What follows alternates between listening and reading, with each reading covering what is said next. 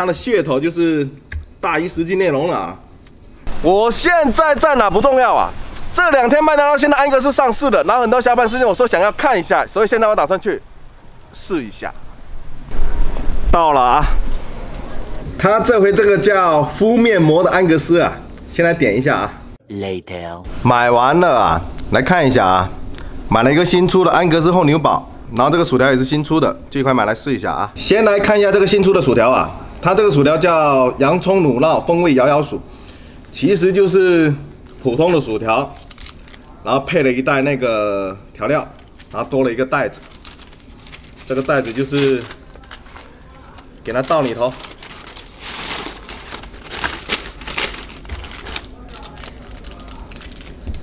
然后把这个调味粉放进去，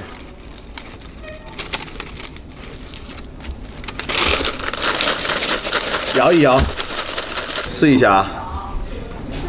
多了一个洋葱的味道，还有一点点淡淡的芝士味。但是我个人感觉还是那个普通的蘸那个番茄酱比较好吃啊。它是多了一袋调味粉，是多了两块钱，对比普通的。接下来来看一下这个。啊这才是我们今天的主角啊！新出的安格斯厚牛堡，它是两种啊，一个是芝士的，一个是培根的。然后我这个是培根的啊，应该是从这打开，其实应该直接能拉上来啊。对，直接这样吧。然后分没分单双层的？我要的这个是单层的，三十二块钱一个。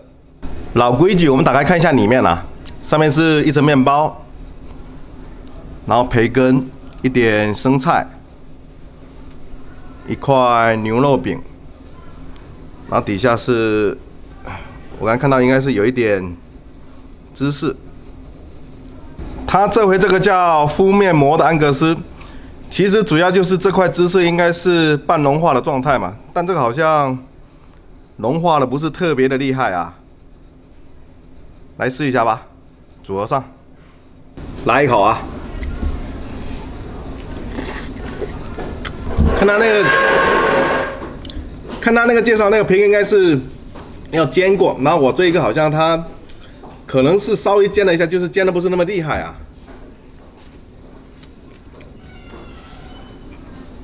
牛肉还可以，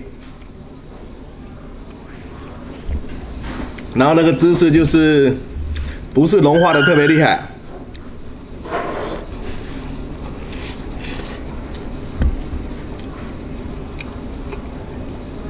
讲真的，有一说一啊，就是跟我期待的有点有点差距啊。就是看他那个图片，哇，看着相当的诱人，然后那个牛肉饼煎着煎着，上面的芝士融化，看着非常的诱人啊。但是实际上吃的话，感觉好像跟以前吃过的那个安格斯有点变化，但是区别不大。啊。其实我个人觉得是麦当劳的安格斯黑金系列啊，在所有快餐品牌的那个牛肉汉堡中，算是一直啊，算是相当不错的。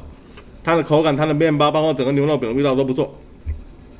但是这回新出的这个叫敷面膜的安格斯，讲真的，有一说一，就是个人觉得啊，好像有点那个玩概念的，然后它的噱头就是大于实际内容了啊。吃起来还可以，但就是总体跟以前的，好像并没有他说的那么大的改变。对，差不多这个意思。有没有吃过的小伙伴？你觉得怎样？